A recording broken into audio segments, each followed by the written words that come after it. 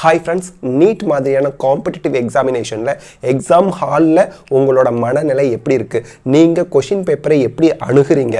இதை பொறுத்து உங்களோட வெற்றி நிர்ணயிக்கப்படுது. அப்படி நீங்கள் நீட் டுவெண்ட்டி டுவெண்ட்டி ஃபைவ்ல பண்ணக்கூடாத விஷயங்கள் என்ன? நெகட்டிவ் மார்க்னால் என்ன?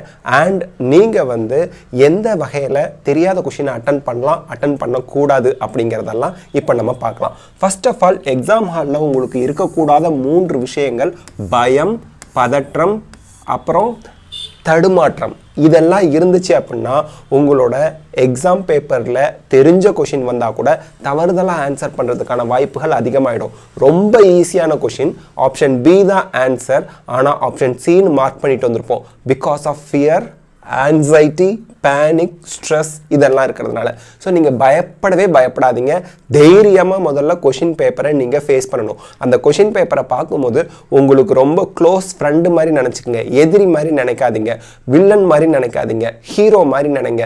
இந்த ஹீரோ தான் என்ன ஹீரோ ஆக்க போகிறோம் அப்படின்னு நினச்சிட்டு அந்த கொஷின் பேப்பரை பார்க்கும்போது கண்டிப்பாக ஒரு ஃப்ரெண்ட்லி மேனரில் ஒவ்வொரு கொஷினையும் ட்ரீட் பண்ணும்போது நீங்கள் தவறு செய்வதற்கான வாய்ப்புகள் ஜீரோவுக்கு கொண்டு வந்துடும் நீங்கள் கண்டிப்பாக கரெக்டாக அந்த கொஷின் கொஷினுக்கு ஆன்சரை பார்த்து கரெக்டாக ஷேட் பண்ணிட்டு வருவீங்க. தயவு செய்து கொஷின் பேப்பரை உங்கள் ஃப்ரெண்டாக பாருங்கள் அடுத்து don't stuck in one question or one subject for long time எடுத்துக்காட்டுக்கு இப்போது ஃபிசிக்ஸில் ஒரு கொஷினில் ஸ்டக் ஆகி அரை மணி நேரம் உட்காந்து நிறைய ஸ்டூடெண்ட்ஸ் வந்து வெளியில் வந்துச்சே ஒரு கொஷின்னால எனக்கு ஹாஃப் அன் ஹவர் போயிடுச்சு அப்படின்னு புலம்புனதை நான் கேள்விப்பட்டிருக்கேன். இந்த வீடியோ பார்த்துட்டு இருக்க நிறைய பேருக்கு அந்த எக்ஸ்பீரியன்ஸ் இருக்கும்.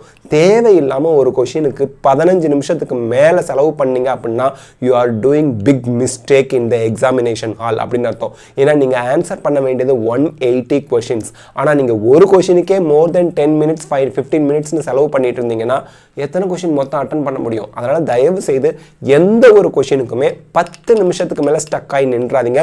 பதினஞ்சு நிமிஷம் நின்னீங்கன்னா யூ வேஸ்டட் த டைம் நீங்கள் நிறைய டைமை வேஸ்ட் பண்ணிட்டீங்க அப்படின்னு அர்த்தம். அதனால் ஒரு கொஷினுக்கு ஆன்சர் வரலை ஒரு டூ த்ரீ மினிட்ஸ் ஃபோர் மினிட்ஸ்க்கு அப்புறமும் அப்படின்னா அதை கடைசியாக பார்த்துக்கலாம். அடுத்த கொஷின் போங்க அடுத்த கொஷின் போங்க அடுத்த கொஷின் போங்க. மூவ் ஆன் ஆகி போய்கிட்டே இருங்க. ஒரு கொஷின்னால அப்செட் ஆகாதீங்க. மொத்தம் இருக்கக்கூடிய நூற்றி எண்பது கொஷினில் பத்துலேருந்து இருபது கொஷின் உங்களுக்கு தெரியாட்டி கூட still you have the chance to get MBBS seat அப்படிங்கிற யதார்த்தத்தை புரிஞ்சுக்கிட்டு மூவ் ஆன் பண்ணிக்கிட்டே இருந்தால் தான் சக்ஸஸ் ரேட் அதிகரிக்கும். ஞாபகம் வச்சுக்கோங்க. அதுக்கடுத்து if you feel blank sir question paper ஃபுல்லாக படித்து பார்த்தேன் சார் ஒன்றுமே தெரியாத மாதிரி ஒரு பிளாங்க் ஆகிட்டேன் சார் ஃபஸ்ட் எடுத்தது ஃபிசிக்ஸ் எடுத்து பார்த்துருவாங்க. ஒரு கொஷினை பொறுத்த வரைக்கும் ஃபிசிக்ஸில் ஒரு தடவை படித்தா புரியாது ரெண்டாவது தடவை படித்தா புரியாது ஆனால் மூணாவது தடவை படித்தா ஓ இதை தான் கேட்டிருக்காங்களா இது எனக்கு தெரியுமே அப்படின்னு தோணும். அதனால் தயவு செய்து ஃபஸ்ட்டு எடுத்தது ஃபிசிக்ஸ் எடுத்து வச்சு பார்த்துட்டு ஒரு பத்து கொஷினை படிச்சுட்டு ஐயோ ஒன்றுமே தெரியல பிளாங்காக இருக்குது அப்படின்னு சொல்லி பதற்றம் ஆயிடாதீங்க. ஒரு ஸ்டூடெண்ட் அவங்களோட personal experience now he studying third year MBBS அவர் வந்து என்கிட்ட சொன்ன ஒரு விஷயம் என்ன அப்படின்னா சார் நான் எக்ஸாம் ஹாலுக்கு போனேன். ஃபிசிக்ஸ் டஃப் தான். நான் பார்த்தேன். கொஷின்ஸ் எல்லாம் படித்தேன். ஒன்றுமே புரியாத மாதிரி இருந்தது. ஒரு one minute just sixty seconds question பேப்பரை மூடி வச்சுட்டேன் பெஞ்சில் சாஞ்சேன். ஒன் மினிட் டக்குன்னு எழுந்திரிச்சேன். அப்புறம் அடுத்த சப்ஜெக்ட்க்கு போயிட்டேன். பாட்னி சுவாலஜி கெமிஸ்ட்ரி முடிச்சுட்டு திருப்பி ஃபிசிக்ஸ்க்கு வந்தேன். எந்த கொஷின்லாம் எனக்கு தெரியாமல் இருந்துச்சோ எந்த கொஷினை பார்த்து நான் பயந்தனோ அந்த கொஷினை மூணு தடவை படித்து பார்த்தா எனக்கு கரெக்டாக ஆன்சர் வந்துச்சு ஓ இதைத்தான் சுற்றி வளைச்சி கேட்டிருக்காங்களா? பெரிய கொஷினாக இருந்ததை பார்த்து பயந்தேன். ஆனால் அந்த கொஷினில் நிறைய க்ளூஸ் கொடுத்துருந்தாங்க. ஈஸியாக ஆன்சர் கண்டுபிடிச்சிட்டேன் சார் அப்படின்னு சொன்னாங்க. எந்த கொஷின் படிக்கிறதுக்கு ரொம்ப டைம் ஆகுதோ அந்த கொஷினுக்கு ஆன்சரை டிரைவ் பண்ணுறது ஈஸி சார் அப்படின்னாங்க. அதனால் இதெல்லாம் மைண்டில் வச்சுக்கிட்டு கொஞ்சம் ரிலாக்ஸ்டாக எக்ஸாம் ஹாலில் இருங்க. அதுக்கடுத்து ஒரு கொஷின் தப்பாக எழுதிட்டேன்னா மைனஸ் ஃபைவா மைனஸ் ஒன்னா நிறைய வீடியோவில் ஒரு கொஷின் நான் தப்பாக எழுதிட்டா மைனஸ் ஃபைவ்னு சொல்கிறாங்க எனக்கு பயமாக இருக்குது அப்படின்னு நிறைய ஸ்டூடெண்ட்ஸ் கேட்குறாங்க இப்போ நான் இதை விளக்குறேன். நல்லா புரிஞ்சுக்குங்க. ஏன்னா எக்ஸாமில் மார்க்கிங் ஸ்கீம் நமக்கு தெளிவாக இருந்தால் தான் நம்மளோட சக்ஸஸ் ரேட் ஜாஸ்தியாகும். இப்போ பாருங்கள் ஒரு எக்ஸாமுக்கு பத்து கொஷின் தான் டோட்டல் கொஷின் வச்சுக்குவோம். சிம்பிளிஃபை பண்ணிக்குவோம். ஓகேங்களா பத்தே பத்து கொஷின்ஸ் தான் கேட்க போகிறாங்க மார்க்கிங் பேட்டர்னை நம்ம நீட்டுக்கு வச்சுக்குவோம். ஸோ தட் நமக்கு இங்கே இம்ப்ளிமெண்ட் பண்ணி பார்க்கறதுக்கு நீட் பேட்டர்னை புரிஞ்சுக்கிறதுக்கு ஹெல்ப்ஃபுல்லாக இருக்கும். மைனஸ் ஃபைவா மைனஸ் ஒன்னாங்கிறத இப்போ நான் உங்களுக்கு விளக்கிடுறேன். ஒரு கொஷின் தப்பாக போனால் சரி. இப்போது ஒரு ஸ்டூடெண்ட் ஏங்கிற ஸ்டூடெண்ட் பத்து கொஷினும் அட்டன் பண்ணிட்டான். பிங்கிற ஸ்டூடெண்ட் நைன் கொஷின்ஸ் அட்டன் பண்ணியிருக்காங்க. இப்போ நல்லா கவனிங்க. சிங்கிற ஸ்டூடெண்ட்டும் பத்து கொஷினும் அட்டன் பண்ணிட்டாங்க. இப்போது இவர் பத்து கொஷினில் ஒம்பது கொஷின் சரி ஒரு கொஷின் தப்பு. அப்போ என்ன ஆகும்னு நான் சொல்கிறேன் ஒன்பது இன்ட்டு நாலு மார்க்கு சரின்னா நாலு மார்க்கு ஒம்பது நாங்க எவ்வளோங்க? முப்பத்தி ஆறு மார்க்கு சரி ஒரு கொஷின் தப்பு. எழுதிட்டாரு. பத்து கொஷினுமே அட்டன் பண்ணிட்டாரு. ஒரு கொஷின் தப்பு. அப்போ into minus one minus one போட்டால் எவ்வளோ மார்க் இவருக்கு வரும்? முப்பத்தி ஐந்து மதிப்பெண்கள் வரும். ஓகேங்களா இதுதான் நெகட்டிவ் மார்க்கிங் ஓகே அடுத்து.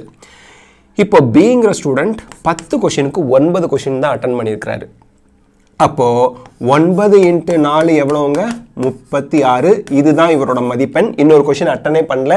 அட்டன் பண்ணலன்னா அந்த கொஷினுக்கு ஜீரோ அப்போ ஜீரோன்னா முப்பத்தி ஆறோட ஜீரோ கூட்டும் போது முப்பத்தி ஆறு தான் அவருக்கு ஃபைனல் மார்க் இப்போது சிங்கிற ஸ்டூடெண்ட் வந்து பத்து கொஷினுமே கரெக்டுங்க அப்போ பத்து கொஷினும் கரெக்டுனா நாற்பது மதிப்பெண்கள் இவர் வாங்கிடுறாரு. இப்போது ஸ்டூடெண்ட்ஸ் கிட்ட நிறைய பேர் நீங்கள் ஒரு கொஷின் தப்பாயிட்டா மைனஸ் ஃபைவ்னு சொல்கிறதுக்கு காரணம் என்னங்கிறத இதில் நீங்கள் அழகாக புரிஞ்சுக்கலாம். மொத்த எக்ஸாமில் கொஷினே பத்து தான் ஒரு உதாரணத்துக்கு. அப்போ இதை நீங்கள் நூற்றி எண்பது கொஷினுக்கு பிளான் பண்ணிக்கோங்க. ஒரு கொஷினுக்கு கரெக்டாக எழுதுனா நாலு மார்க்கு அப்போது டோட்டல் மார்க்கு நாற்பதுக்கு நாற்பது வாங்கலாம். பத்துமே கரெக்டாக எழுதிட்டா. ஒரு ஸ்டூடெண்ட் பத்துமே எழுதிட்டாரு. ஒன்பது கொஷின் கரெக்டு முப்பத்தி ஆறு ஒரு கொஷின் தப்பு தப்பான கொஷினுக்கு மைனஸ் ஒன்று அப்போ முப்பத்தி ஐந்து மார்க் ஆகிடுது இன்னொரு ஸ்டூடெண்ட் ஒன்பது கொஷின் அட்டன் பண்ணியிருக்கிறாரு ஒரு கொஷினுக்கு நாலு மார்க்னா ஒம்பது நாங்கள் முப்பத்தாறு இன்னொரு கொஷின் அட்டனே பண்ணல இன்னொரு கொஷின் அட்டனே பண்ணாதனால அது ஜீரோ அப்போ முப்பத்தி ஆறோட ஒரு மார்க் நின்றுது. இன்னொரு ஸ்டூடெண்ட் பத்து கொஷின் அட்டன் பண்ணி பத்துமே கரெக்ட் ஆகிட்டாரு நாற்பது மார்க் இப்போ ஸ்டூடெண்ட் மைனஸ் ஃபைவ்னு புரிஞ்சுக்கக்கூடிய இடம் என்னென்னா இவரும் பத்து கொஷின் அட்டன் பண்ணியிருக்காரு இவரும் பத்து கொஷின் அட்டன் பண்ணியிருக்கிறாரு. ஓகேங்களா? இவருக்கு பத்துமே கரெக்டு நாற்பது மார்க் இவருக்கு பத்தில் ஒன்று தப்புங்கிறதுனால முப்பத்தி அஞ்சு மார்க் ஆயிடுச்சு. அப்போ இவர் இந்த மார்க்லேருந்து மைனஸ் ஃபைவ் இதை தான் மைனஸ் ஃபைவ்னு சொல்கிறது இவர் பத்து கொஷின் எழுதின ஸ்டூடெண்ட்டு பத்துமே கரெக்டாக எழுதணும்னு நினச்சிக்கிட்டாரு. அப்போ அவர் எக்ஸ்பெக்ட் பண்ணுற மார்க் எவ்வளோ? நாற்பது ஆனால் பத்தில் ஒரு கொஷின் தப்பாக போயிடுது. அவர் எக்ஸ்பெக்ட் பண்ணுற மார்க் தான் நாற்பது பத்தில் ஒரு கொஷின் தப்பாக போயிடுது. அப்போ நாற்பது எக்ஸ்பெக்ட் பண்ணார். ஆனால் அவர் கிடைச்ச மார்க் எவ்வளோ தான் முப்பத்தி அஞ்சு. அப்போ ஒரு கொஷின் தப்பாக போயிடுச்சு. மைனஸ் ஃபைவ் அப்படி இல்லை எதார்த்தம். நீங்கள் எழுதுனதில் ஒன்பது கொஷின் கரெக்டு ஒம்பது நாங்க முப்பத்தி ஆறு. ஒரு கொஷின் தப்பு தப்பான கொஷினுக்கு மைனஸ் ஒன்று ஸோ முப்பத்தாறு மைனஸ் ஒன்று முப்பத்தி அஞ்சுன்னு வருது. நீங்கள் எழுதுனதில் பத்துமே கரெக்ட்னா பைத்னாங்க நாற்பது. ஸோ பத்துமே அட்டன் பண்ணால் பத்துமே கரெக்டாக இருந்தால் நாற்பது.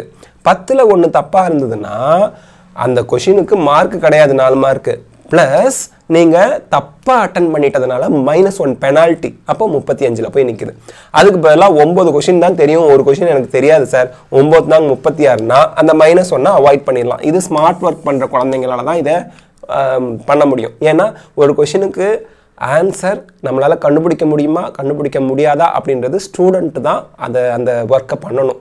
அதுதான் உங்களை பல ரேங்க் முன்னாடி பல நூறு ரேங்க் முன்னாடி பல ஆயிரம் ரேங்க் முன்னாடியோ பின்னாடியோ கொண்டு போகிறதே இந்த நெகட்டிவ் மார்க் தான். நெகட்டிவ் மார்க்கு இப்போ எழுநூற்றி இருபதுக்கும் எழுநூற்றி பத்தொம்பதுக்கும் பல நூறு ரேங்க் அதாவது நூறு நூற்றம்பது ரேங்க் குறைஞ்சி வரும். அதே அறநூறுக்கும் ஐநூற்றி தொண்ணூத்தொம்பதுக்கும் பல ஆயிரம் ரேங்க் குறைஞ்சி வரும். அதனால் you have to be very careful சரி சார் இந்த நெகட்டிவ் மார்க் வராமல் இந்த கொஷின் அட்டன் பண்ணலாமா வேணாமாங்கிற ஒரு கன்ஃபியூஷன் இருக்குது அப்போது நான் எப்படி முடிவெடுக்கிறது இப்போது நிறைய ஸ்டூடெண்ட் சொல்லுவாங்க இப்போ எனக்கு ஒரு கொஷின் நான் அட்டன் பண்ணலன்னா கூட எனக்கு முப்பத்தாறு தான் வந்திருக்கும். இப்போ இவருக்கு ஒம்பது கொஷின் தெரியுதுங்க. இந்த கொஷின் சரியானா நாற்பதாயிடும் தப்பானா முப்பத்தஞ்சாயிடும். அப்போது நான் இதை அட்டன் பண்ணுறது தானே உத்தமம் அட்டன் பண்ணி மைனஸ் ஒன்றுனா முப்பத்தி அஞ்சு தான் எனக்கு வந்திருக்கு. ஒருவேளை எழுபத்தஞ்சு சதவீதம் தப்பான ஆப்ஷன் இருபத்தஞ்சு சதவீதம் கரெக்டான ஆப்ஷன் வர வாய்ப்பு இருக்குது ஏன்னா நாலு ஆப்ஷன் ஒரு ஆப்ஷன் தான் கரெக்டாக இருக்கும் மூணு ஆப்ஷன் தப்பாக இருக்கும். நான் ஒருவேளை டுவெண்ட்டி ஃபைவ் பர்சன்டேஜ் கரெக்டாக எழுத சான்ஸ் இருந்திருந்தால் நாற்பது வாங்கியிருப்பேன்ல ட்ரை பண்ணுறேனே அப்படின்னு தோணும் நிறைய ஸ்டூடெண்ட்டுக்கு இந்த இடத்துல நான் உங்களுக்கு எப்போ அந்த மாதிரி ரிஸ்க் எடுக்கலாம் ரிஸ்க் ரிவார்டுன்னு சொல்லுவாங்க. ரிஸ்க் எடுத்தால் ரிவார்டு கிடைக்க வாய்ப்பு இருக்குது அதுக்கு ஒரு எக்ஸாம்பிளோட சொல்கிறேன் லாஸ்ட் இயர் பிரபஞ்சன் ஸ்டூடெண்ட் இருக்கிறார் இல்லையா? அவர்கிட்ட நான் இன்டர்வியூ எடுத்தப்போ அவர் சொன்ன விஷயம் இதுதான். சார் எனக்கு நூற்றி எண்பது கொஷினில் நூற்றி எழுபத்தி ஏழு கொஷின் எந்த பிரச்சனையும் இல்லை. இதுதான் ஆன்சர்னு எனக்கு எக்ஸாம் ஹாலில் தெரிஞ்சுது. நான் ஆன்சர் பண்ணிட்டேன். இப்போ நூற்றி எழுபத்தி ஏழு கொஷின் எனக்கு தெரியுதுன்னா அவருக்கு எவ்வளோ மார்க் வரும்? ஏழு ஏழ்நாங்க இருபத்தெட்டு எழுநூற்றி எட்டு மார்க் வாங்கிடுவார். இன்னும் மூணு கொஷின் தெரியல. ஓகேங்களா? முன்னாங்க பன்னெண்டு மார்க்குக்கு தெரில இப்போ அவர் என்ன அந்த இடத்துல டிசைட் பண்ணாருன்னா நான் மூணு கொஷினை அட்டன் பண்ணுறேன் ஏன்னா எனக்கு நூற்றி எழுபத்தி ஏழு கொஷின் கண்டிப்பாக இதுதான் ஆன்சர் அப்படின்னு எனக்கு தெளிவாக தெரியுது. நான் ப்ரிப்பரேஷனில் வச்சு ஸ்ட்ராங்காக சொல்கிறேன் எனக்கு எழுநூற்றி எட்டு மார்க் உறுதி ஆயிடுச்சு. இன்னும் மூணு கொஷினுக்கு ஆன்சர் தெரியல. ஆனால் அந்த கொஷினில் வந்து நான் அந்த எலிமினேஷன் மெத்தடை வச்சு ஃபிஃப்டி ஃபிஃப்டி பர்சன்டேஜ் எலிமினேஷன் மெத்தடை வச்சு first option second option third option fourth ஆப்ஷன்னா ரெண்டு ஆப்ஷன் எது கிடையாதுன்னு முடிவு பண்ணிட்டேன். இப்போ இந்த ரெண்டில் எனக்கு எந்த ஆப்ஷன் ஆன்சர்னு தெரியல. ஃபார் த்ரீ கொஷின்ஸ் அப்போது இந்த இடத்துல அவர் என்ன முடிவு எடுக்கிறாருன்னா ரிஸ்க் எடுக்கிறாரு. என்ன ரிஸ்க்கு மூணு கொஷினையும் நான் அட்டன் பண்ணுறேன் மூணு கொஷினில் ஒன்று கரெக்டானாலோ ரெண்டு கரெக்டானாலோ மூணுமே கரெக்டானாலோ எனக்கு மார்க்கு எழுநூற்றி இருபது வரைக்கும் போக வாய்ப்பு இருக்குது மூணுமே தப்பாயிடுச்சுன்னா என்ன ஆகும் எனக்கு எழுநூற்றி அஞ்சு மார்க் ஆகும். மைனஸ் மூணு போட்டால் ஓகேங்களா எழுநூற்றி அஞ்சு மதிப்பெண்கள் ஆகும். அப்போ எழுநூற்றி எட்டுக்கும் எழுநூற்றி அஞ்சுக்கும் பெரிய டிஃப்ரென்ஸ் ஒன்றும் கிடையாது. அதனால் லெட் மீ டேக் ரிஸ்க் அப்படின்னு ரிஸ்க் எடுத்திருக்கிறாரு. அவருக்கு ரிவார்ட் கிடச்சிது. But he was very confidence that ரெண்டு ஆப்ஷன் கிடையாது. மீதி இருக்கிற ரெண்டு ஆப்ஷனில் தான் கன்ஃபியூஷன் பட் அந்த ரெண்டு ஆப்ஷனில் இவர் சரியாக இருக்கிறதுக்கான வாய்ப்புகள் தான் ஜாஸ்தி. கடவுள் மேலே பாரத்தை போட்டுட்டு மூணு கொஷினுக்கு ஆன்சர் பண்ணி எழுநூற்றி இருபதுக்கு எழுநூற்றி இருபது வாங்கி லிஸ்ட்டில் ஹீரோ ஆகிட்டார் ஸோ இந்த மாதிரி ரிஸ்க் எடுக்கலாம். பட் இந்த இடத்துல நான் உங்களுக்கு ஒரு எக்ஸ்ப்ளனேஷன் கொடுக்குறேன். நீங்கள் எப்படி ரிஸ்க் எடுக்கலான்னு இப்போ அவர் ஓகே சார் டாப்பர் சார் நல்ல மார்க் வாங்கிட்டார் சார் அந்த மாதிரி சுச்சுவேஷனில் ரிஸ்க் எடுத்துட்டார் சார் இப்போ எங்களுக்கு சொல்லுங்கள் நான் இங்கே ரிஸ்க் எடுக்கலாமா வேணாமா? இப்போது நீங்கள் ஒரு டெசிஷன் எடுத்து வச்சுருப்பீங்க. உங்களோட சேஃப் ஸ்கோர் ஸ்டூடெண்ட்டை பொறுத்து கேட்டகரியை பொறுத்து மாறும். ஐநூற்றி ஐம்பதாக இருக்கலாம்.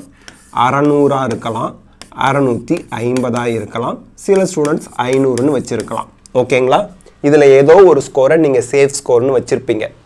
அப்போது இந்த சேஃப் ஸ்கோர் வர வரைக்கும் நீங்கள் கொஷின் ஆன்சர் பண்ணிக்கிட்டே வரீங்க. உங்களுக்கு இதெல்லாம் கரெக்ட் ஆன்சர்னு தெரிஞ்சுக்கிட்டே இருக்குது இந்த சேஃப் ஸ்கோரை க்ராஸ் பண்ணுற வரைக்கும் நீங்கள் கரெக்டான ஆன்சருக்கு மட்டும் ஷேட் பண்ணிக்கிட்டே வாங்க. அதாவது ஹண்ட்ரட் பர்சன்ட் எனக்கு இந்த கொஷினுக்கு இதுதான் ஆன்சர்னு கரெக்டாக எனக்கு தெரியும். அப்படிங்கிற வரைக்கும் நீங்கள் ஹண்ட்ரட் பர்சன்ட் தெரிஞ்ச கொஷினுக்கு மட்டும் ஆன்சர் பண்ணிக்கிட்டே வாங்க. கடைசி ஒரு ஹாஃப் அன் ஹவர் வச்சுக்கோங்க. Round one round two round three method நம்ம ஆல்ரெடி ஷேர் பண்ணியிருப்போம் கடைசி ஹாஃப் அன் ஹவரில் ரவுண்ட் த்ரீல உங்களுக்கு கம்ப்ளீட்டாக தெரியாத கொஷின் பத்து இருக்குதா? பதினஞ்சு இருக்கா? இருபது இருக்குதா? இருபத்தஞ்சு இருக்கா? அது உங்கள் ப்ரிப்பரேஷனை பொறுத்து உங்களோட கொஷின் பேப்பர் எப்படி வரப்போதோ அதை பொறுத்து தான் உங்களுக்கு எத்தனை கொஷின் மீதி இருக்குன்னு தெரியும். இப்போது உங்களோட சேஃப் ஸ்கோரை க்ராஸ் பண்ணியிருந்தீங்கன்னு வச்சுக்கோங்களேன். எந்த சேஃப் ஸ்கோர்னு நீங்கள் முன்னாடியே டிசைட் பண்ணி வச்சுக்கணும். முடிஞ்ச அளவுக்கு சிக்ஸ் ஹண்ட்ரடை க்ராஸ் பண்ணியிருக்கலாம். ரிசர்வேஷனில் வரவங்க.